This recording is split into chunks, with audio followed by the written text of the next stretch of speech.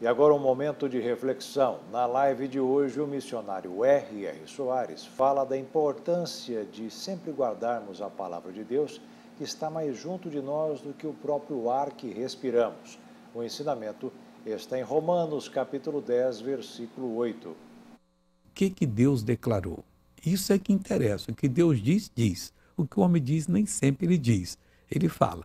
Aqui Deus está dizendo, é decreto. A palavra a revelação é esta: está junto de ti. A revelação que Deus me dá, ela fica junto de mim. Se eu não a utilizar, não vai voltar para o céu, porque ela não, ela, é, toda a palavra que está na minha boca não voltará para mim vazia. Deus não a recebe. Então ela é um emissário de Deus, como se fosse um anjo. Então a palavra está junto de ti na tua boca e no teu coração. Esta é a palavra da fé que pregamos. Quando nós pregamos doutrina de homem, história, não vai adiantar nada. Mas quando nós trazemos revelação da palavra, do que está escrito, e a pessoa entende, aquela revelação fica junto dela. Fica um minuto, uma hora, um dia, um mês, um ano, dez anos, cinquenta anos, o tempo que ela ficar aqui na Terra, esperando que ela creia. Essa é a boa notícia. Na hora que você se acerta com Deus e crê, você sente uma liberdade naquela revelação, você vai e reivindica aquela benção. Você manda o mal embora e o mal tem que sair e a bênção chega até você. É o que Deus está revelando para nós e o que nós precisamos fazer. Mas o que é mais que diz? Que vamos voltar aqui agora. Mas que diz? Que declara o Senhor Deus? O que, que ele está falando? A palavra está junto de ti, meu Deus.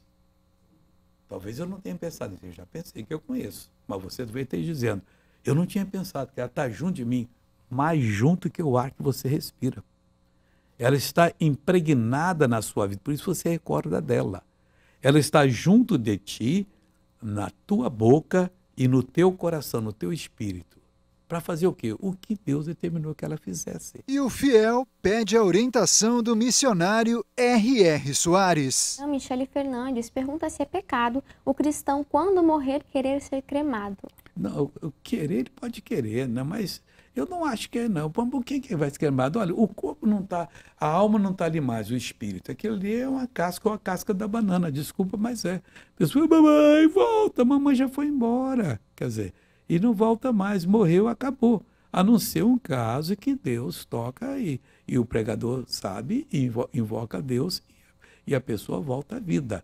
Agora, a Bíblia manda verás a terra, mas se queimar, ah, só mais queimar nunca vai ser aproveitado. Não, Deus vai fazer. Quem morreu no incêndio, então não vai ter jeito, vai ter corpo glorificado, sim, senhor.